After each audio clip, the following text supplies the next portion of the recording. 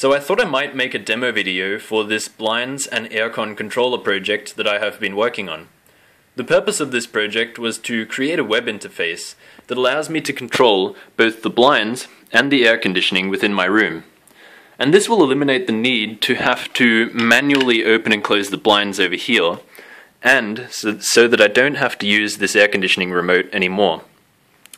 Now I can demo this by going to the uh, interface here and by pressing the open blinds button. And now you'll start to hear the blinds opening. And if we go up to the controller itself, you'll see that the stepper motor is turning and it's directly coupled to the blind mechanism itself.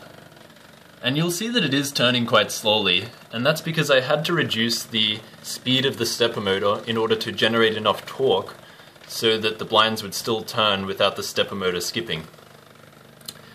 Now if I take a look back down to the blinds, you'll see that they are probably about a third of the way open.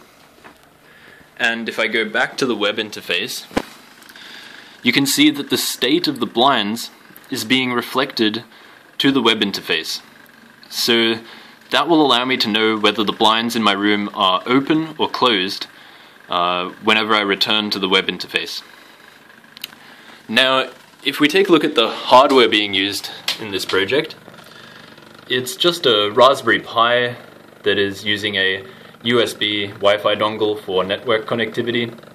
There's an easy stepper motor driver on the left-hand side that's driving the old stepper motor from an old inkjet printer. And up the front there is a infrared LED together with a infrared receiver. And that allows me to record the existing infrared commands from the uh, air conditioning remote and then replicate them using the Raspberry Pi. And this is all being powered through a 5 volt source through this black cable that just goes to my cupboard uh, to a power board. Now, if I go back to the web interface, the way that it basically works is that uh, whenever a button is pressed on the page, it sends this command to a controller queue file that is stored on the Raspberry Pi. And the commands in this file are then uh, processed by the controller and subsequently removed from the file. The JavaScript on the page uh, interfaces with the controller in order to uh, get the state of the blinds every second. And that allows me to uh, open and close these blinds to reflect the state. The GUI interface basically is split up into manual and automatic blind and AC control. So the automatic control allows me to set timer events uh, for when I want the air conditioning to turn on or off, for example, or the blinds to open and close.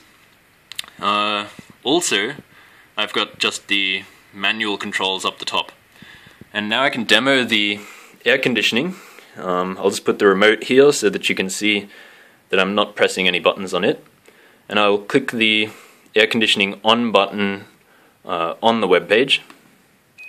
And now you'll hear the air conditioning turning on the flaps open and it starts up. And now if I go to the web interface again and I click the aircon off button, you hear the beep turning off, uh, the air conditioner will turn off and the flaps should close. There we go. Okay, and that's about it. Thank you for watching.